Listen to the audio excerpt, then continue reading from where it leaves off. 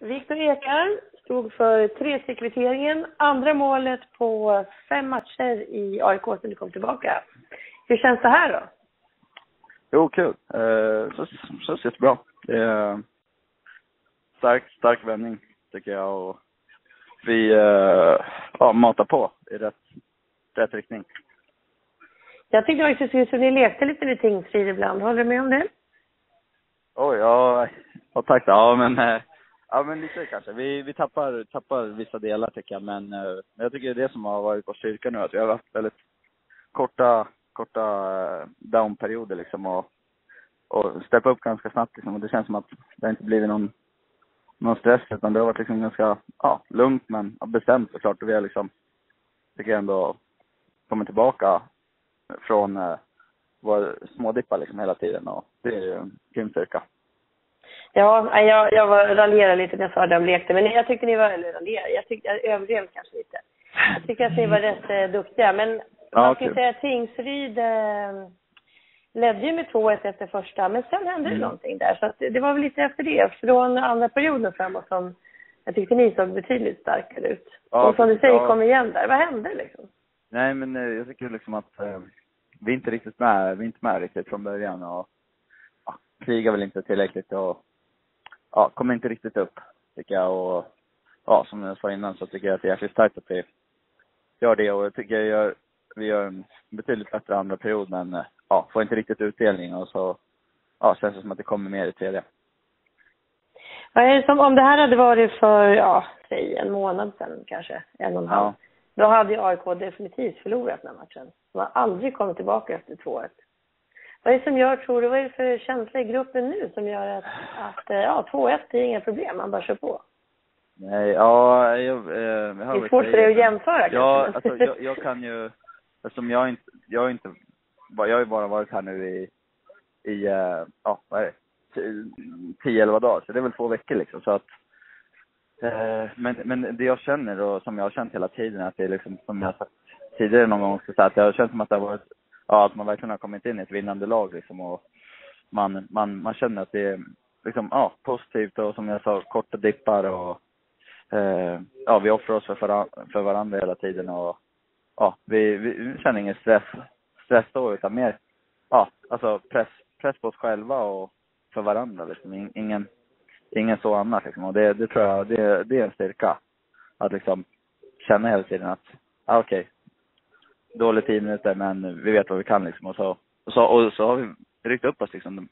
Nu, de här senaste matcherna liksom, har verkligen, tycker jag hela tiden att, ja vi har haft väldigt korta sådana dippar och Ja, jag, jag vet inte, det känns som att jag säger det till men det, är- det är väl det jag tycker är som, är, som man känner är styrkan. Du har ju mött AIK när de var i en betydligt mer nedåtgående trend sådär. Och det, går det att jämföra hur det var att möta dem då och hur du tror att det är att möta er nu? Det, det, du det är jättesvårt att säga. Ja, jag förstår vad du menar, men det är jättesvårt att säga och eh, liksom, men, men man har väl hört liksom hur snacket har gått här och vi har, ja, vi har pratat mycket om det och vi har liksom snackat om att de här grejerna inte kommer gratis utan det är liksom kontinuerligt jobb och, och tålamod och en, en grej liksom att vi, och samma sak nu att vi, vi har aldrig blivit nöjda nu liksom bara för att det har varit några matcher i rad utan kommit ikapp så, och liksom, och då kommer väl glädjen och tycker jag att, och det är en stor ödmjukhet också att kunna mata på. Så att det är väl de grejerna då som jag tror är, är mycket, men det är svårt att säga liksom, men det är starkt, starkt gjort. När du gjorde, eller när du inledde matchen här, då fick du börja med Jesper Bratt och eh, Fredrik Karlström. Men sen när du gjorde målet så var det ihop med Micke Lindqvist. Men hur, vem vill du, vem och var vill du spela egentligen? Oj, ja det, det är jättesvårt. Jag tycker att, Eh, jag tycker det funkade, eh, funkade, funkade med båda liksom. Med, med både Brallan och Karla tycker jag har funkat bra liksom. Och det känns bra liksom. Och även nu, sista, sista då, jag tror det, vi får väl en sista, sista fem minuterna i andra då. Och, eh, och, och sen eh, eh tredje perioden med Linkan och Sampa. Eh, så jag tycker det har liksom, det har funkat alltså, bra på båda och ja, som, som det känns nu så känns det bara som att ja, man spelar där man, där man blir tillsagd och, och äh, gör sitt bästa och det, det tycker jag liksom har, att så känns det som att det har varit i hela gruppen liksom att alla att det behöver inte, det behöver inte betyda så mycket, utan vi kan göra så, ja, liksom att, det är väl också en styrka att, ja, ifall det händer någonting eller man matchar om lite så blir det liksom kanske som en, ja, att man väcker lite laget också liksom sådär. Du, när jag ser dig spela med Linkan och Sampa, då kan man inte låta bli att tänka på den där försäsongen för, ja, vad blir det nu? Det är väl två, tre år sedan? Ja. Men ni hade världens framfart, du och Linkan tillsammans. Jo, vi hade hade några matcher då ihop så att, äh, nej, vi, vi har väl, vi har, vi har lirat ganska, vi, vi har liksom, hade ganska många matcher första året i 20, några andra året och, och sådär så att, ja, man har väl lirat några matcher tillsammans så att, eh, det är klart att, det är klart att det är kul men jag, eh, som sagt, jag, jag tycker att, äh, Karla och, och Brallan har gjort det skitbra liksom. Jag tycker att vi också har vuxit, vuxit in och gjort bättre och bättre perioder liksom. Det har varit, ja, vi, vi har väl gjort, gjort no, några mål men eh, jag tycker vi har väl inte riktigt haft den där utdelningen hela tiden. Eh, men jag tycker att det har, det har varit bra och vi har, ja, framförallt liksom täppt till mer bakåt.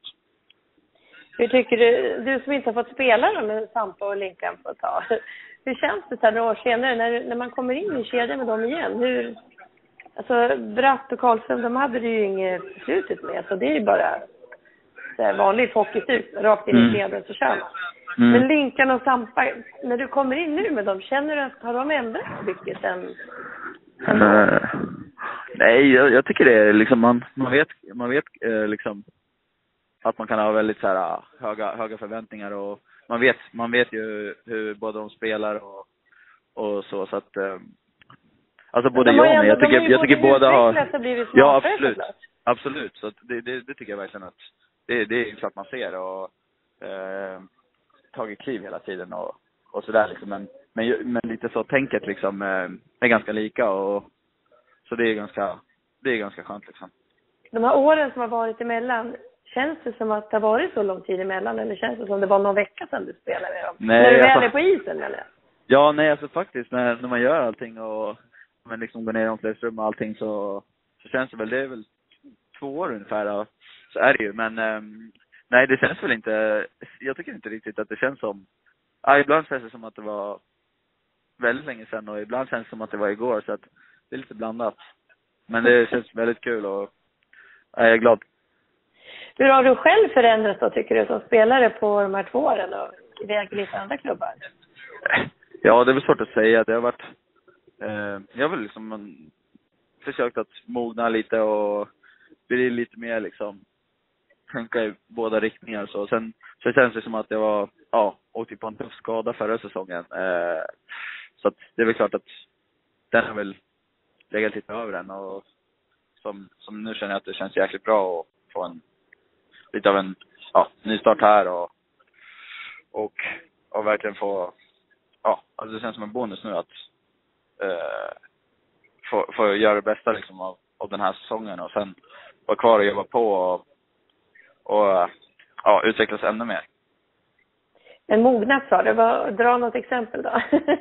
på, Nej, men, på vilket sätt har du mognat mera, som hockeyspelare då? Men alltså, man, man spelar väl ganska mycket liksom juniorlikt kanske när man, när man kom precis upp där från J20 och jag hade inte haft många matcher. Jag hade haft några matcher på bänken där året innan i A-lag, men det var inte liksom mycket. Så att, eh, ja, det var väl, det är väl den biten som jag tycker att man kanske ligger lite, ja, bättre som tredje man och som centerspelare blir bättre, kanske tekningar och sånt där, men eh, ja, det, det, det är väl sagt att ja, det, eftersom man har varit lite skadad och sådär så känns det som att jag tror att det här stora klivet man kan ta eh, det är ju det är över tid liksom och att man har tålamod med det. För det, dina år som har varit här, de skulle man kunna prata länge om och det ska vi inte göra nu där direkt efter mars, det får vi ta någon annan gång. Men kan du bara så sammanfatta någon mening hur det har varit?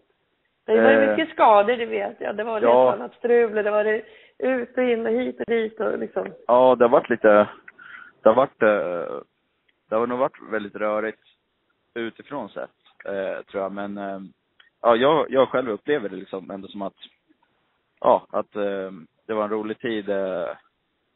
Liksom uppe i Luleå där det även blev, ja, spel Asplanda och, ehm, och, och, det, och det var liksom väldigt överenskommet där för att jag verkligen skulle få, på istid. Så kändes det som att, ja, det var väl att, ja, det lossnade väl lite förra säsongen då, mer och mer och kändes som att, ja, när jag hade gjort egentligen mina första fyra, fem matcher i rad där det kändes, allt som att det gick bra och, och jag fick mer och mer speltid i Luleå. Det var ju då jag åkte på tacklingen där, så det är, det är klart att, ja, utifrån sett så ser det nog svängigare ut än vad jag tyckte det var och jag tyckte det kändes som att det var en ganska bra plan där uppe och kändes bra så liksom och, eh, så att, nej, jag förstår var... utifrån sett så känns det som att det hänt, hänt mycket, men jag tycker ändå att det har varit liksom, eh, mer stabilt kanske än vad, än vad det har sett ut.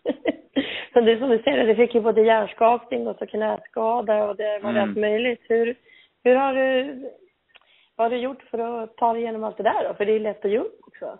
Och bara ja, det här blir ju bara skit och pannkaka. Ja, det är klart att det, det har varit lite så och, och ja, men man, man gör väl det bästa av situationen bara. Det, det, det är inte, jag är inte den första som åker på något sånt där så att eh, det är en, det är en process självklart att komma tillbaka och och som jag tror på lite så att det, ja men när man jobbar med reb en hel sommar så kan det vara väldigt bra att ja, ha en, ha en hel sommar där man kan köra på också på ett sätt. Så att, eh, så jag ser väldigt, ja, jag ser väldigt mycket fram emot framtiden nu och, och verkligen fokusera nu på de här två matcherna som är kvar och sen playoff och, och sen, eh, ja, så det känns, känns som en liten nytändning och, och är väldigt, väldigt eh, ja, väldigt, eh, liksom, vad säger man? Ja, du är så glad Tacksam liksom och, i alla fall. och, och känner att, att, jag, att det känns bra allting nu och, och bara få nöta på. Mm, du ser glad ut på isen också. ja, men du ser ut sådär som, som ja. när du trivs. Då brukar du se glad ut på isen. Ja. Hörru vad, du hade ju faktiskt kunnat gå till AIK inför den här säsongen. För jag vet att eh, mm. Gossi ville ha dig. Hur kommer det sig att du tog Almtuna och inte AIK först då? Svårt att säga där. Det var... Det var väl lite liksom att... Eh, det, var, det var lite så intresse från, från båda hållen där och, och det var väl allting. Men det kändes som att, ja, jag hade en väldigt...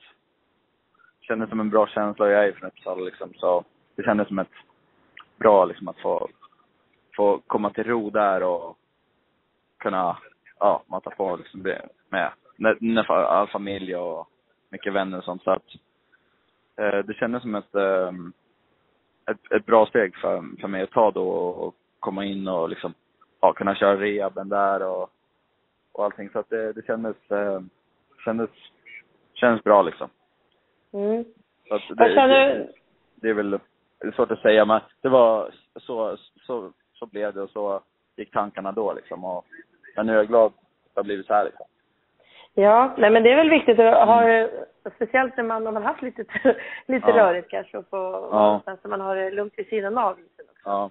Men nu när du ändå valde att komma till AIK då, vad känner du nu inför, eh, vad, vad vill du ta för plats i det här laget egentligen? Vad, vad vill du liksom, hur vill du sticka ut för det här gänget under till att börja med och resten av den här säsongen? Ja, eh, alltså jag, jag vill ju vara en ledande spelare och, och ja, vi var, vi var liksom en, en avgörande faktor och, eh, och utveckla mitt spel liksom på, i alla delar och verkligen kunna vara den här go-to-guy liksom och eh, det har väl varit, varit, varit målet och är målet fortfarande och, och samtidigt att ha tålamod nu och, och, och jobba liksom långsiktigt och och ja, ha kul och spela hockey. Nu har ni tio raka och det är ju nästan så att man eh, känner att ni pikar för tidigt här nu. Eh, Hur luttrad som man är. Men vad tror du, vad är det som, eh, vad är det som kommer göra, tror du då, att eh, ni inte har pikat för tidigt utan tvärtom kan fortsätta bygga på det här? Ja, men alltså det är det, det jag känner så här. Det har varit liksom att det har varit många gånger som det har varit så här att, ja men det har ja men vi har, som jag sa, vi har kanske haft någon period där det inte har varit så bra och lite så här, man tänker att okej, okay, nu kanske det inte håller i sig, men så tycker jag vi har varit liksom starka hela tiden och jag tror att kan vi jobba på så här och ja, jobba för varandra och, och offra oss och, och vilja vinna så mycket som vi gör nu och Eh, ja, eh, har korta dippar eh, i matcherna så kommer vi absolut kunna hålla i det. Och spela, spela bra hockey.